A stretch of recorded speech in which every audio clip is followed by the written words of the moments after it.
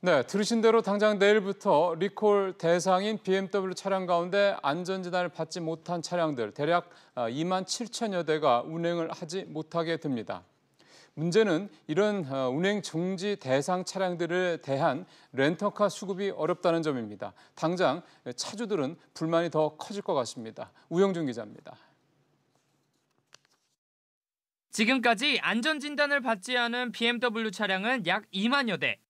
국토교통부가 운행정지 데드라인으로 정한 오늘까지 안전진단을 받지 못한 겁니다. BMW 코리아는 오늘까지 약 8만 5천 대의 진단을 마칠 계획이라며 휴일인 내일도 24시간 안전진단을 실시하겠다고 밝혔습니다.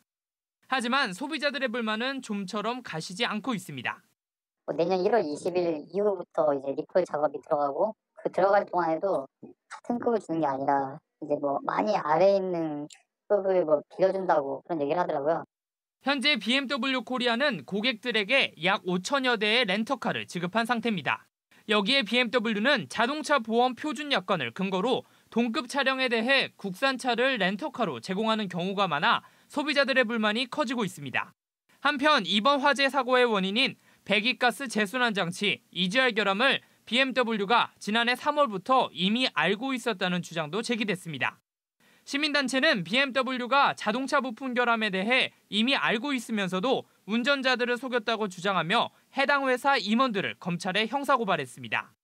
국토부는 이 같은 의혹에 대해서 조사에 나서겠다고 밝혔지만 만약 사실로 드러난다면 처벌이 불가피할 것으로 보입니다. SBS CNBC 우형준입니다.